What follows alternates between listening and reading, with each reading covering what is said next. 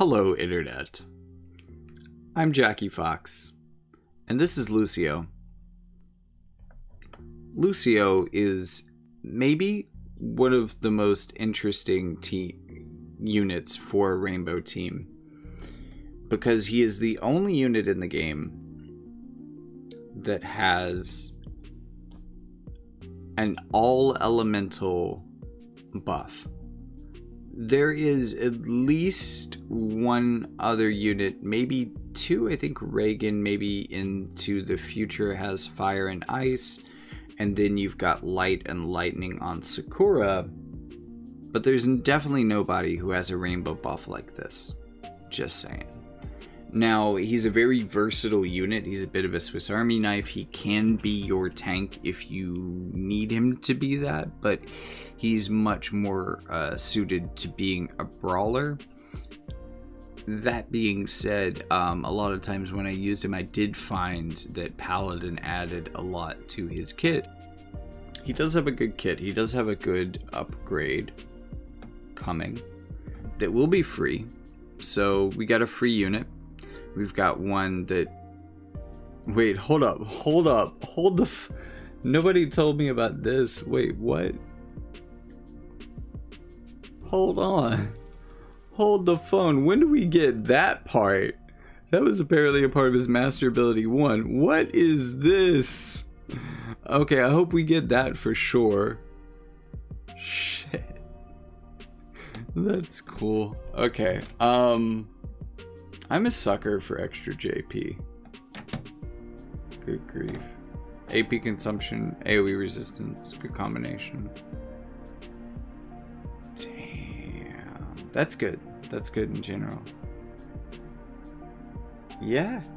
Yeah, he's got some good upgrades in the 140. And again, that, that kind of that rainbow in addition to his flexibility. Like he was he was meant to be able to work on like I guess, uh, the crystal theme teams, rainbow teams, but like, I, I maybe they underestimated what they had done with elemental VCs and with the master ability upgrades, but you know, as much as Lucio is built for rainbow teams, he was introduced after that era, unfortunately. So, with that being said, we've talked about many of the the greats of the newer units.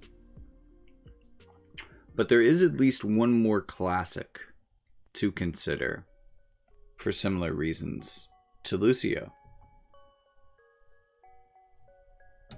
And that's going to be Oberon. So I would make the argument that Queen Ma Cherie is a better and more necessary, well, yeah, no, no, this is a very easy argument, actually.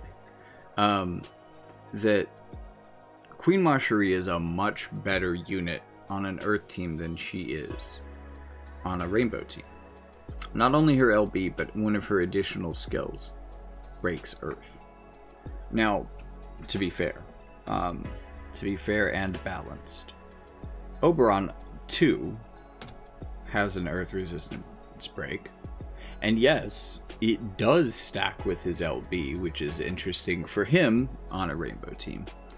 But 20% all elemental resistance down, while it's not as big as other elemental resistance breaks, especially not ones that you might find on a limit break, the fact that it helps your entire team makes it markedly better on a rainbow team than it does within its own element and it, it doesn't hurt me at all to not run this sub job. I I don't feel bad about that. Sorry about that long open, but I thought it was important to get those units out of the way when chronologically they actually come last in the better way that I should organize this video. In fact, how I organize this video, who I pick and how I say it all concisely, including what I say, who I leave in and out, is not something that was consistent between the many takes that I did this. But ultimately, I think these are the best takes of those, and I tried not to cobble things together too much to really bring in a lot of inconsistency, so this is basically my best two runs, and, well, I guess I'll check back in with you at the end. So, see you there. Hello Internet, I'm Jackie Fox, and I previously put out a video looking at rainbow teams from the perspective of job-based VCs, but that's not necessarily the only way to look at this. Maybe this is going to sound a little crazy, but sometimes the biggest numbers aren't always the best thing. you could make the case for any of the units, pretty much any of the units that I'm talking about today, being better off in their home element due to a lot of systemic advantages that just make units stronger within their own element, whether that be the prevalence of elemental vision cards and the ease of building synergies between units within an element, in addition to their master abilities buffing each other up. Um, adding um, like stacking onto each other, increasing in effect the more of a singular element that you use. These things add a natural advantage to units that sometimes can be pretty big in their favor on a large well mainly we're talking like like on a pvp situation it stacks up to three. And then you can get up to six within pve so it's it's sometimes it could be an even harder sell in pve i think. But the theory behind rainbow teams what seems to work is to take high value high power um, high importance within whatever their niche is units and to use them kind of to their maximal strategic advantages, whether it be playing certain elements together to counterplay something, whether you're mixing and matching and taking the best of, you know, who's the best tank in the game, the best DPS, and the best support. Throw them on a team together. like it used to be one of the most popular rainbow teams that I have ever seen in my experience of this game historically was Yuna. She was the first of the units that came out for this team. Then King Mont, because, you know, you've got just just like meta resettingly good healer. And then you get a meta resettingly good tank.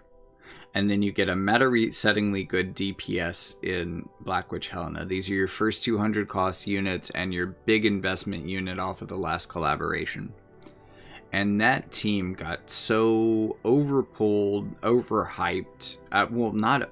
It's hard to overhype Black Witch Helena, especially because she did genuinely dominate the game for quite a while. That won't just hype. She was a problem. Like, genuinely, the player base began to see her as a problem that needed to be solved. With that in mind, it would behoove you, it would be best for you to think about job synergies, it would be best to view this through that lens and try to use those, even if it's a little bit mixed, something like what I was doing with um, Katana and Red Mage, which could very easily be a, a very mixed team. It adds more variety, more variety gives more strategy, and also it's harder to think about counterplay for because compared to the way that we're used to thinking about the game, it's kind of random. In that you have so much more versatility than we're used to players really having with their builds. The problem is making up for all of the systemic advantages that are putting your rainbow teams behind. Really, the rainbow teams need to rise up and demand rights like, you know, rainbow effects more often so that they're not the subject of so much systemic discrimination. oh my god, we got there. Ladies and gentlemen, we we got there. And in only 5 minutes. So, since we got there, let's genuinely start talking about units. Oh boy.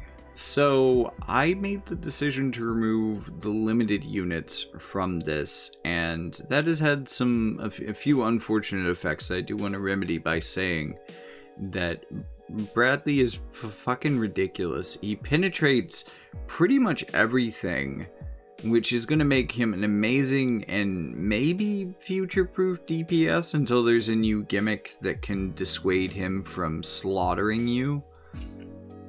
But until then, he counters pretty much everything better than anyone else who counters it does, with the exception of Earth Resistance, which inherently isn't a problem for a Rainbow team. I know it's a problem for him, but if that's all they're really working towards, if that's what they've specced into just to deal with your Bradley, then you've already kind of won.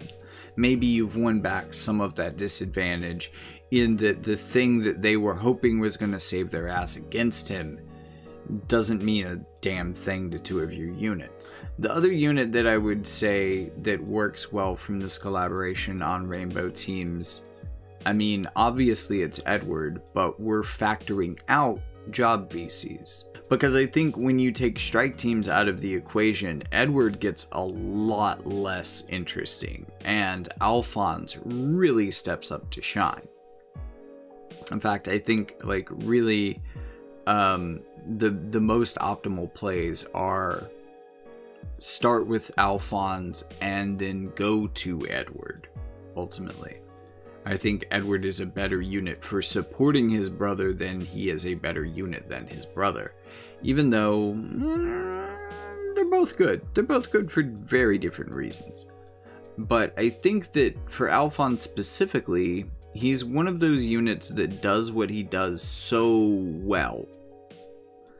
He just has so many layers of defense to peel back like an armored onion that some of his stats could be lacking some of the vcs on him could be on on the team with him could be suboptimal for him and he could still be pretty darn hard to kill with a good strategy going on around him.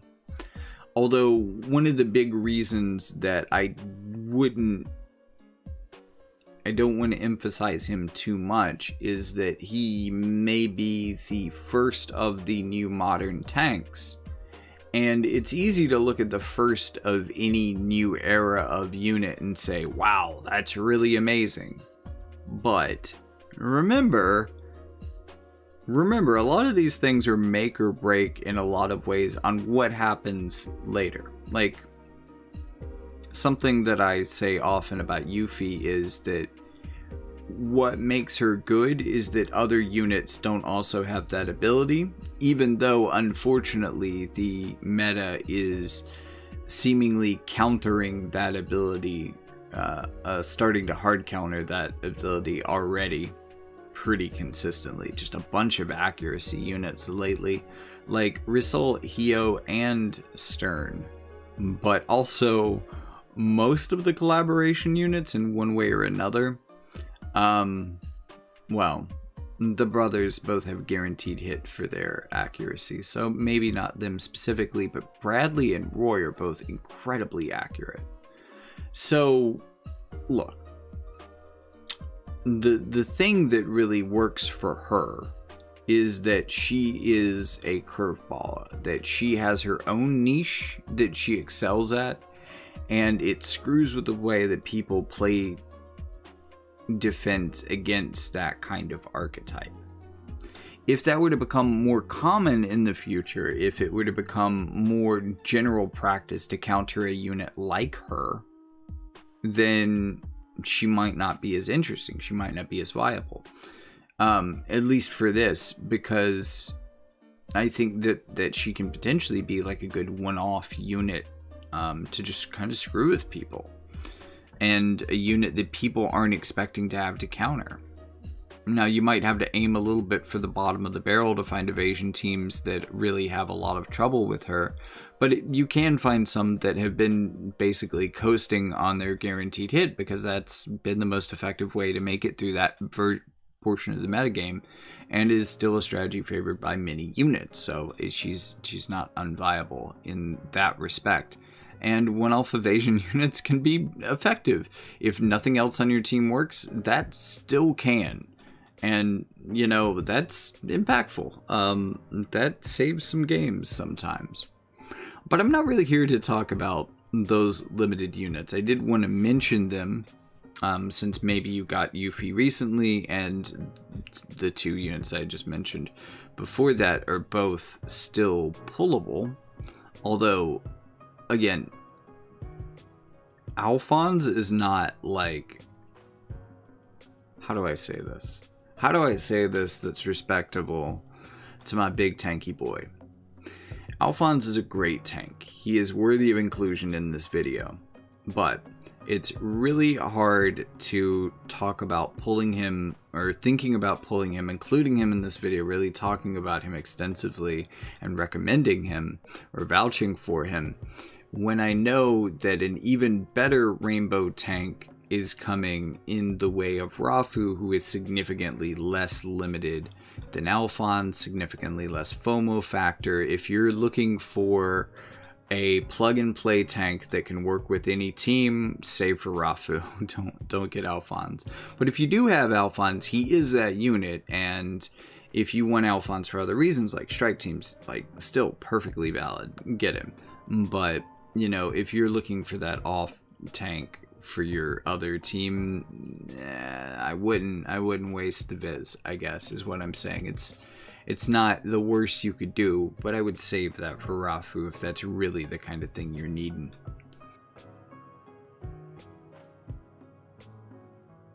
Next unit I would say is Perrine because she's so independent. She is a strong, independent mother, and she, like, she's she's Snow without courage and the initial hate but way more damage.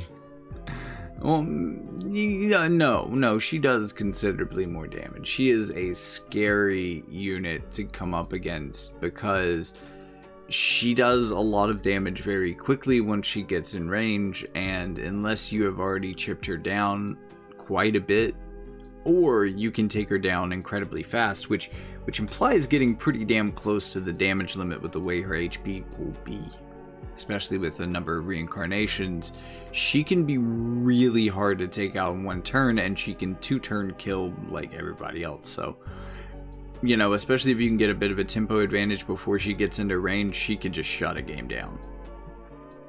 So it's hard not to argue for her on a wide variety of teams. Elia Rundle is probably the strongest gunner in the game. period point blank. Um, her heavy ballistics giving her only two movement is such a blessing for her.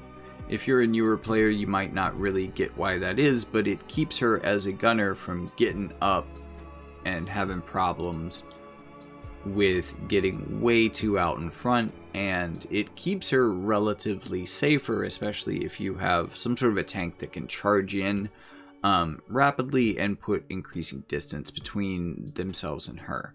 So, with that in mind, if you need kind of just a ranged DPS for your team, if that is that form of DPS that you want, if you have a rush in tank strategy, um, like I was describing, and you know, Snow would do a good job of that, Alphonse would do a good job of that, I'm sure Rafu would do a good job of that. Fine.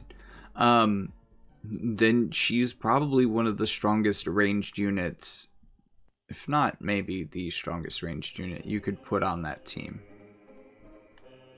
The next unit I want to point out is Dark Fina, and it's really because she's such a standout, both like non-elemental damage dealer, which means that at least her non-elemental damage doesn't suffer as much from not being on an elemental team, so that's a kind of an odd advantage for her as a damage dealer, but also she is an incredible single target dam or yeah, single target damage dealer, which is going to be especially effective into future metas. So really like her.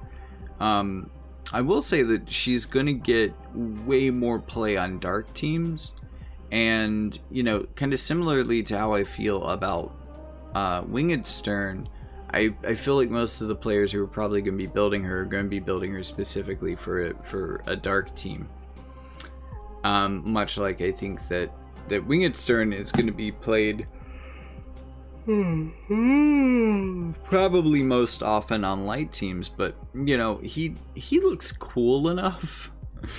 Like, if I was just starting this game, I'd be like, fuck yeah, am I playing light? I don't know. I want this guy. Um, I could see me making that kind of pull for him. So, maybe we'll see more Rainbow Stern than I think, and maybe we'll see more Rainbow Dark Fina, but I think that she's really exemplary of a thing that's going to be important for teams to potentially have, and she just excels in doing it.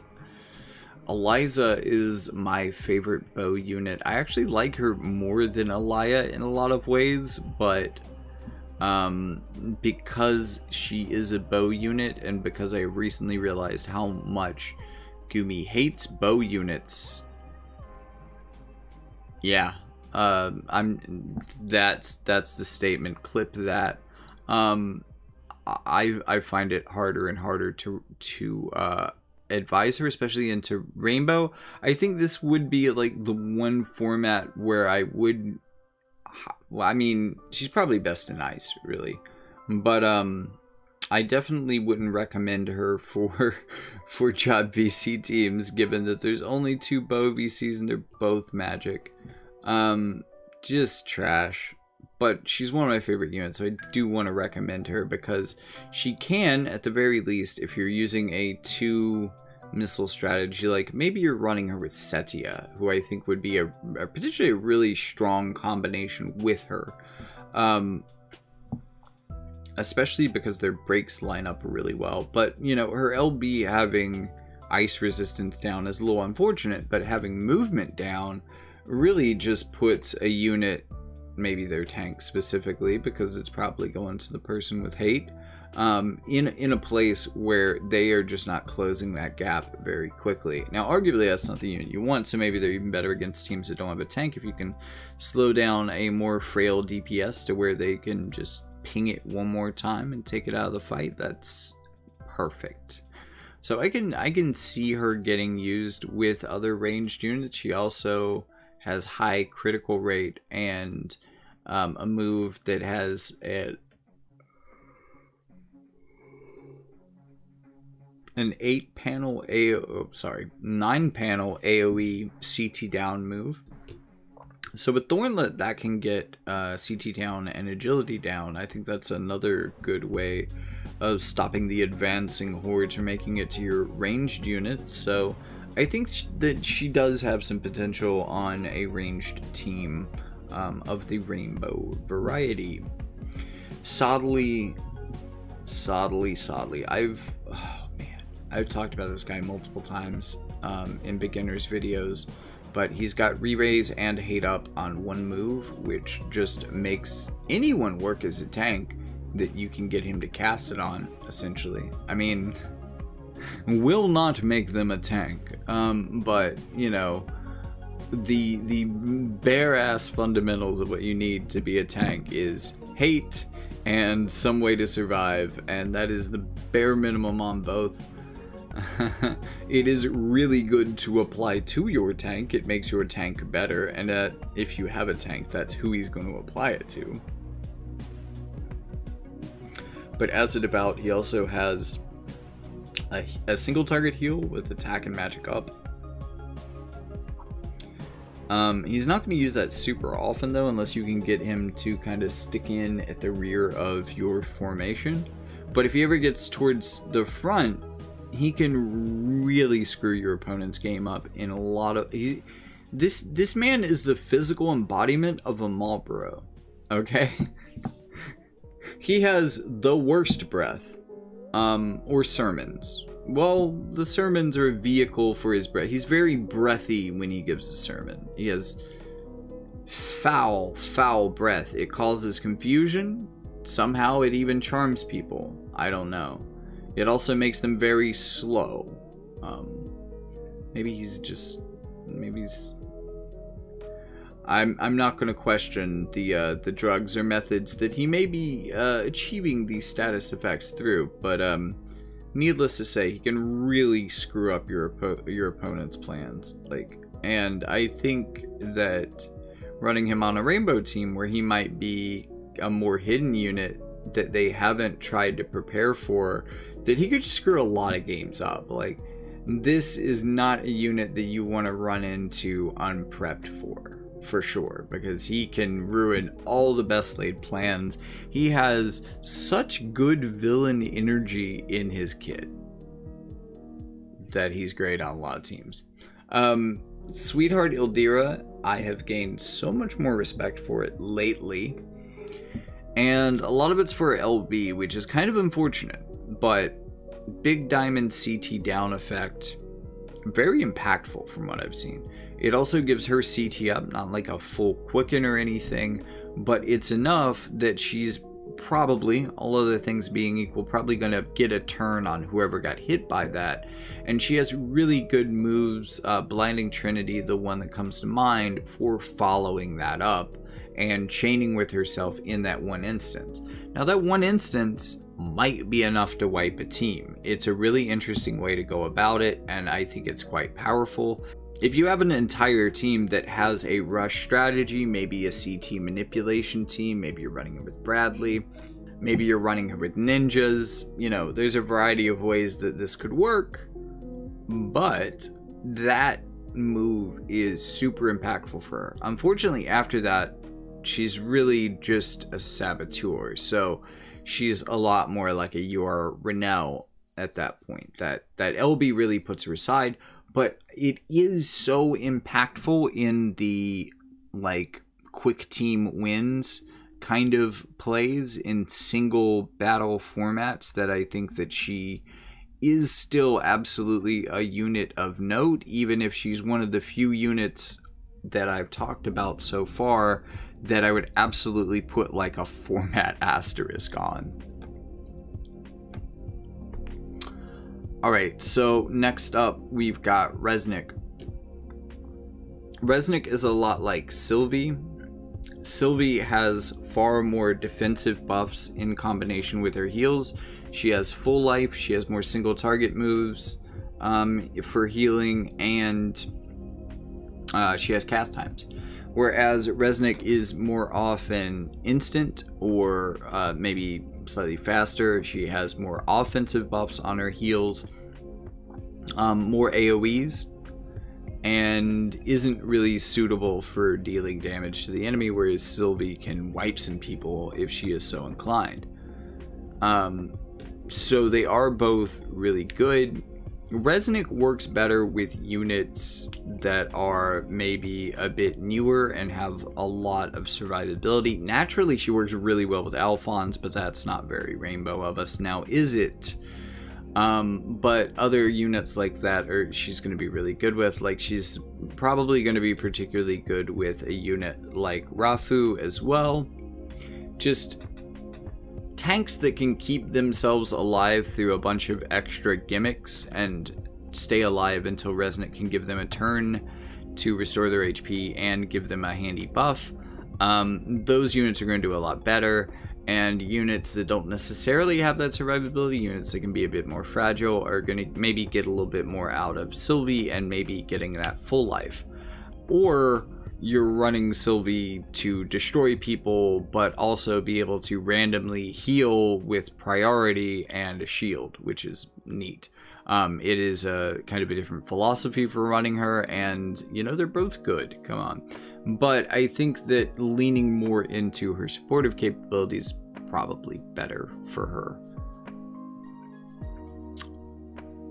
At least in the rainbow context.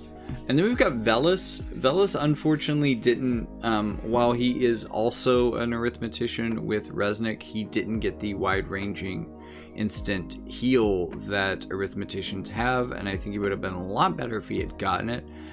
That caused me to kind of discount his value early on, and I'm still, mm, I mean, I still think he should have got it. Shit. Man, I'm not giving this up. Um, still think he should have got that like level whatever Cura but he didn't, and I have to accept that. He does have an instant uh, single target ability, but I, I think you're probably running him Scholar. Uh, yeah, probably. Um,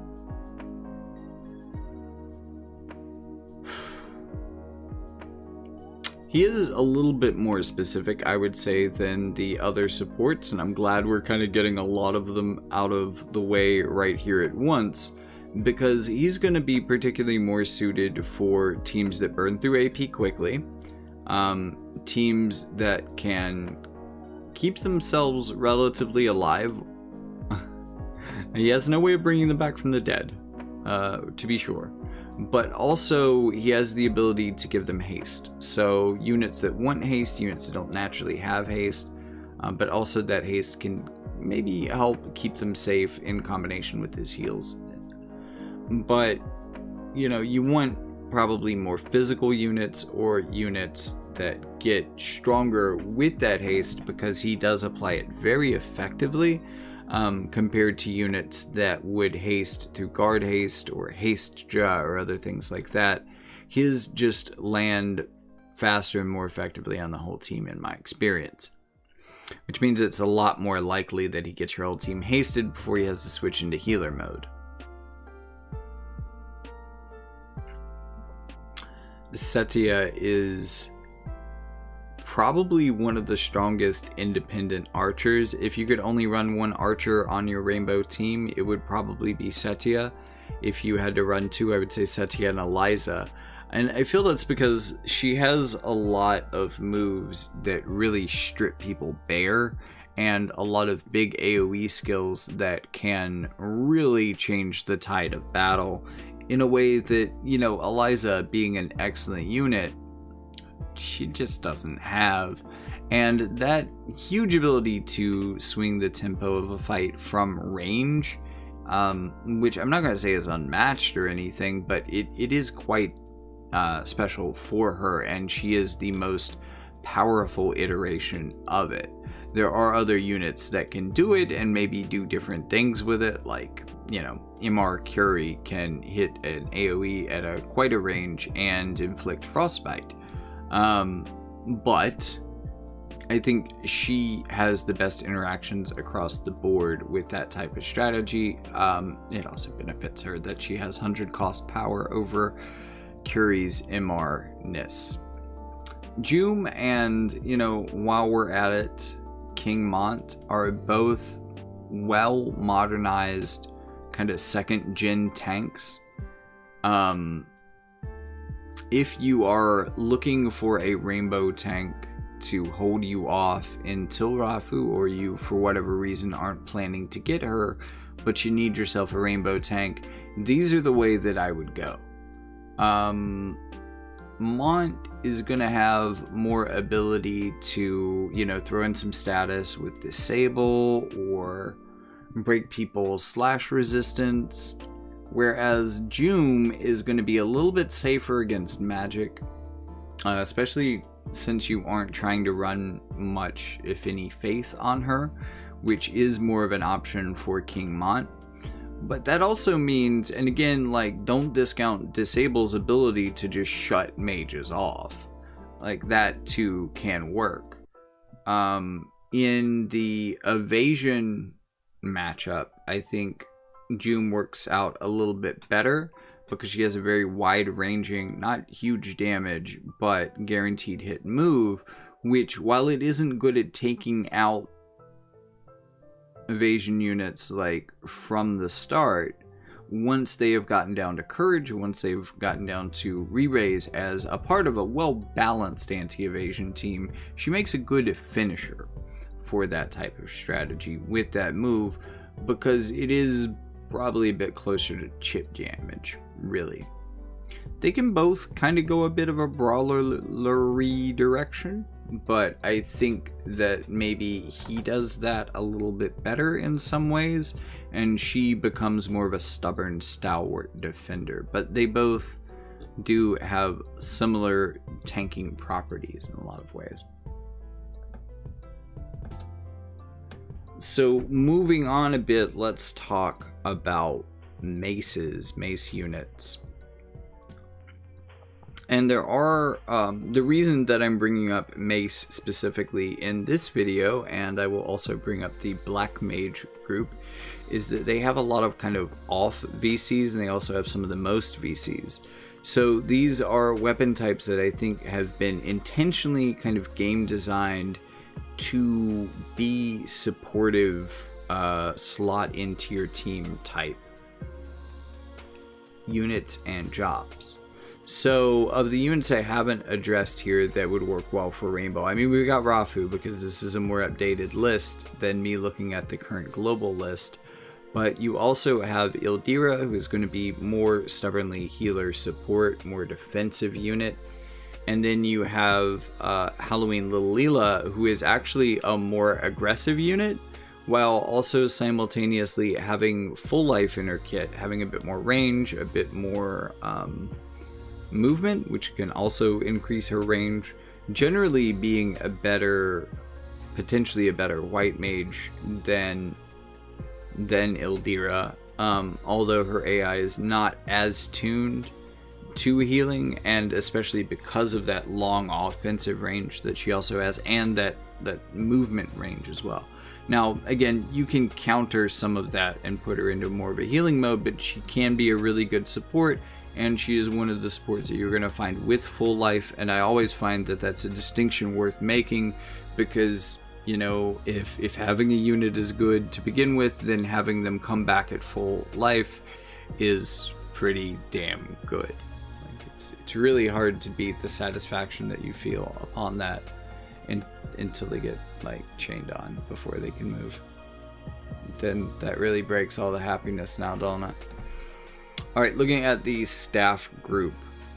Coming in the future and not a unit that I've talked about on this. I haven't actually talked about Rafu that much either, but Lena, and I don't know the most about Lena. I do know one of her standout qualities that, like the big headline for Lena.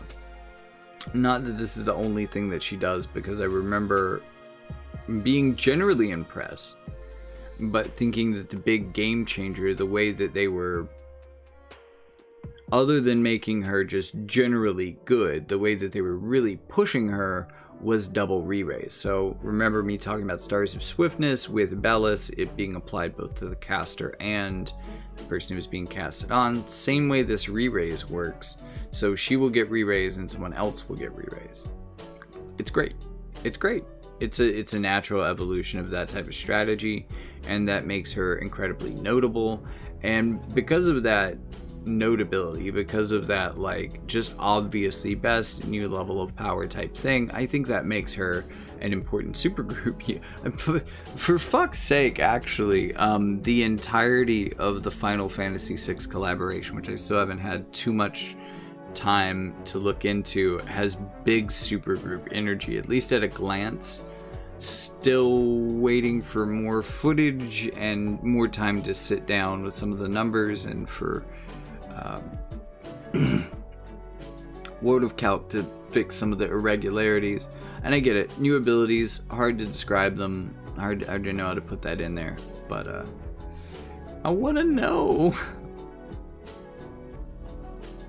Another unit on here that I didn't mention previously is Lemure, and I mentioned Phoebe earlier as well, both of them being time mages also, both of them, well, it, it's really the time mage that makes them interesting. First of all, just because having access to Quicken is one of those things that, like, I don't care what fucking element you are, that's great, you know? Like, I can, yeah, yeah, I can suck it up on some of the other stuff. I, I can make a suboptimal play if it is to get Quicken onto a team that otherwise wouldn't have it. That's great. That's great. I like it. It really opens up some interesting strategies. It can be busted. It's fun. And also, Phoebe is a non elemental damage dealer entirely, I think. I don't know. She might be able to, like, Dragoon pounce on people with uh, light damage, but functionally, she's got Comet and Meteor. So, like, okay, look, let's be honest. Phoebe can finish somebody off with a meteor. It's it's a thing that I've seen happen way way more than it should, but it's usually a result of the rest of your game plan going absolutely to shit. Usually she is not in the position to KO someone with a meteor, and if you have put her in that position, you're doing it wrong. But it is worth noting that time mages in general or time mage derivative classes like Dark Fina has, so Dark Fina, Phoebe, and Lemure they all have like base meteor and comet. So compared to other units they have very strong single target non-elemental moves. So for a lot of the same reasons that i was well not, not i mean they aren't the same type of single target damage dealers but they do have some of the same moves and share some qualities that i was bragging on for dark fina um, being particularly suited to a rainbow team those things still apply to them I don't think they're going to be massacring people with comets the way that Dark Fina does. And that was really the main reason for pointing her out earlier. But Phoebe, especially for limited, but also Lemure for being kind of the non limited version of Phoebe, the UR version of Phoebe, um, they are both quite good. And both units that I would absolutely splash onto a rainbow team. And with that, I believe that we are finally and thankfully comprehensively done. And oh my gracious, I have done so many versions of this video just from having to do little fact checks to make sure I was saying the right. This is a lot of units and things to remember off the top of my head. So, if you appreciate all that hard work and the fucking time that I put into all these takes, uh, then please like, subscribe, send send money, send help, send mental help. Uh,